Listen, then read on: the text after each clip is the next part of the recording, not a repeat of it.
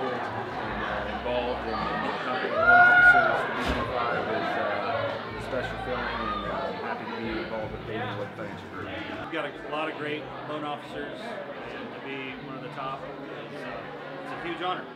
I'm super excited about it. I just want to thank all my friends, also my team, and of course my wife and family as well. I'm extremely honored. Um, Bailey Wood is a great company.